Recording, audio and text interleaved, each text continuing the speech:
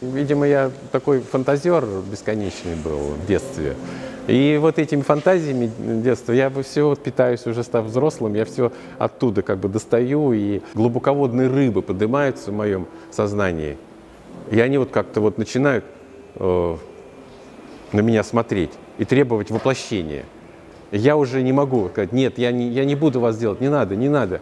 Но, но невозможно отказать. Они говорят, ну как, как, Леня, ну ты понимаешь, мы должны быть. И мне приходится их лепить, например, рисовать, о них описывать. А когда уже их ты начинаешь уже с ними взаимодействовать, то все, ты становишься уже заложником их. Вот позади меня луна, луна на лодке.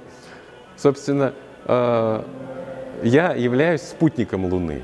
Не Луна является спутником, а я ее. Потому что э, однажды ее сделав, я тем самым стал ее, ее рабом, просто рабом. Потому что она путешествует вокруг света, ее приглашают куда-то, и я еду, ее сопровождаю. Ну, в общем, короче, короче, я просто не знаю, что с ней делать.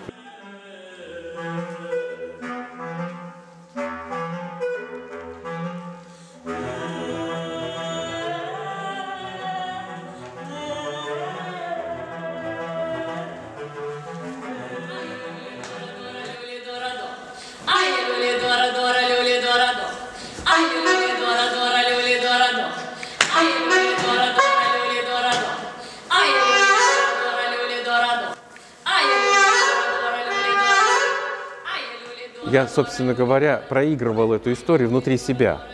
И я э, сам персонаж и сам лично э, внутри всех этих историй своих.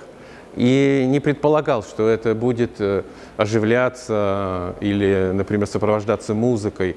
Э, когда это появляется, когда это появляется, то это как такой еще дополнительная краска, дополнительный какой-то свет, который э, освещает э, идею.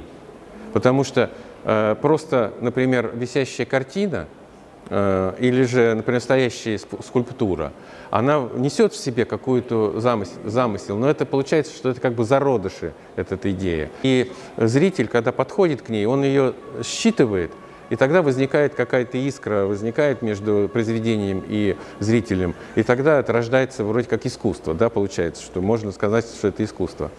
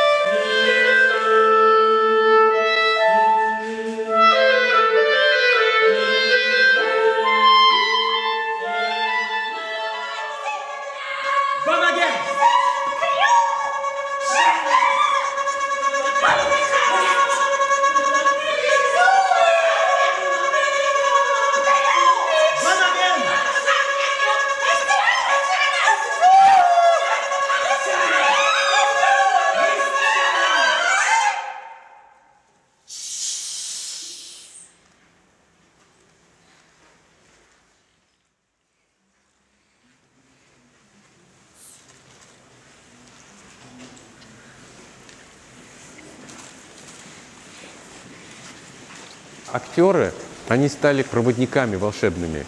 Получилось так, что они больше, чем просто зрители. Они подняли это все до степени жизни. Тело всего лишь скафандр, данный нам на протяжении всей нашей жизни. Вся эта кожа, мышцы, внешние половые признаки даны нам на время, в аренду. Так, чтобы мы могли погрузиться в эту жизнь, пройти свой путь, преодолевая пространство, дойти до горизонта и там оставить ненужный.